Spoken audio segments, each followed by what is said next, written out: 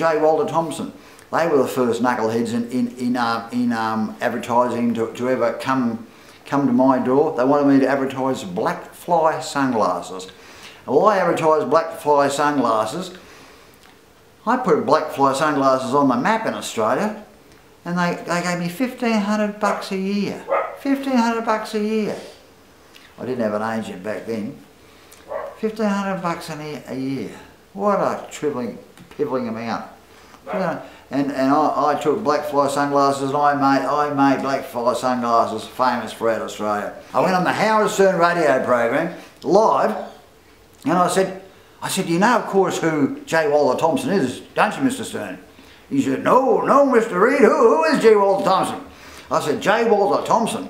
I said, he was actually, he was actually uh, a, former employee with the CIA and he was hired by the Kennedy administration to, as a speechwriter to help, uh, to help sanitise the Bay of Pigs fiasco.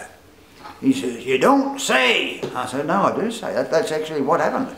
You know, I said, J. Walter Thompson was a former employee with, with the CIA and was hired by the Kennedy administration to help sanitise the Bay of Pigs fiasco. This is, this is a known, well-known fact. And then from there he went off, and he was the character that came up with the words, I am not a thief, for, for, for, for Mr Nixon. He, um, he, he thought of those words, I am not a thief, because he stayed on uh, after, after Kennedy's assassination uh, for, for, for, um, for um, Lyndon Johnson, and then went, went on with Kennedy, and with, um, with Nixon, and uh, helped, uh, helped Nixon um, come up with that, that famous expression, I am, I am not a, what do you say, I'm not a thief, I'm not a liar, I am not a, well, he came up with that expression anyway.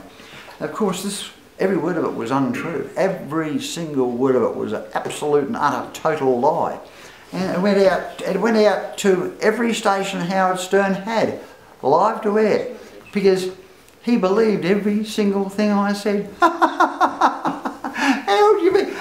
What sort of idiot would Howard Stern have to be to believe every single word Chopper Read said?